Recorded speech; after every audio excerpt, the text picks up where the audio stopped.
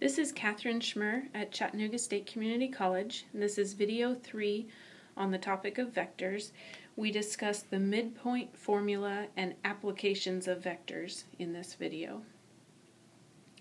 The midpoint of the line segment joining point P1, defined as x1, y1, z1, and point 2, P2, defined as x2, y2, z2, is the point capital M equals x1 plus x2 quantity over 2. That will be our x component. The y component is the sum of y1 and y2 divided by 2, and the z component is the sum of z1 and z2 divided by 2. Example 4 from the guided notes. For the points P1, negative 2, 5, 5, and P2, defined as 5, 4, 0, find the direction of vector P1, P2, and the midpoint of the line segment P1, P2. So this is really two separate problems because the direction vector and um, the midpoint are completely separate concepts. So we'll start by finding the direction vector and we um, explained how to do this in video 2. So remember direction vector means the unit vector. First we want to find the vector p1, p2. So we do terminal point minus initial point, x2 minus x1, y2 minus y1, and z2 minus z1. So I'm going to plug in the numbers that we have. So I get 5 plus 2, comma, 4 minus 5, comma, 0 minus 5, which simplifies to 7, negative 1, negative 5. So that is vector p1, p2. Now I need a unit vector, so I'm going to find the length or magnitude of that vector now.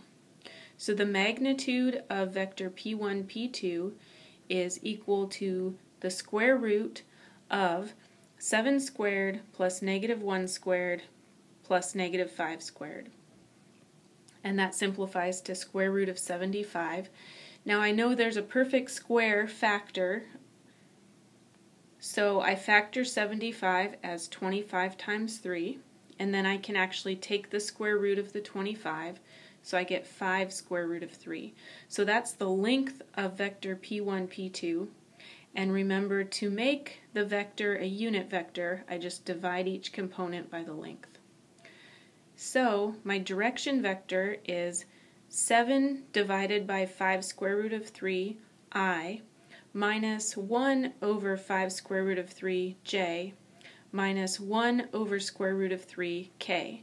And notice that I simplified the k component because I know negative 5 over 5 would cancel and give me a 1 in the numerator. So there's my direction vector. The second part of the problem says find the midpoint of the line segment. So remember the midpoint of the line segment, um, P1, P2, has the formula where you add each component, corresponding component, and divide by 2. So I have negative 2 plus 5 divided by 2, 5 plus 4 divided by 2, and 5 plus 0 divided by 2. Simplify that and I get a midpoint of negative 3 halves, 9 halves, 5 halves.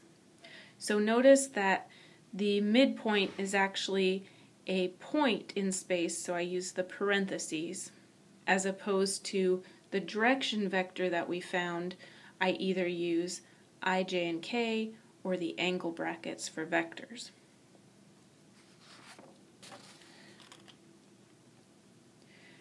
Now, one application of vectors here, um, we're going to talk about utilizing the sine and cosine to break down a velocity or a force into a vertical component and horizontal component of velocity or force. So things to remember, draw a picture whenever possible. And then also remember your basic trig identities. Sine of theta equals the opposite over hypotenuse if you're looking at a right triangle. and cosine of theta equals the adjacent side over the hypotenuse. Here's our example. An airplane is flying in the direction 25 degrees west of north at 800 kilometers per hour. We want to find the component form of the velocity of the airplane. So remember, component form means in the angle brackets as opposed to using the I and J. So step one of my um, advice was draw a picture. So I'm going to start by drawing my northeast, south, and west. And my vector is representing the airplane path 25 degrees west of north.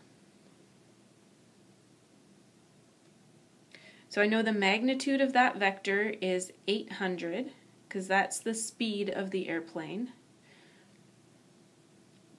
And I'm going to create a right triangle um, out of that. So I'm going to call the um, the horizontal component v sub x, because we're talking about a velocity, so velocity, the x component of the velocity, and I'll call the vertical component of the velocity v sub y. Now, there are a couple ways you could do this. The way I'm going to show is if we take the total angle to that vector from the positive x-axis, that would be 115 degrees. And then if I have the angle from the positive x-axis, then I know that the x component at the end of that vector is v sub x equals 800 cosine of 115 degrees.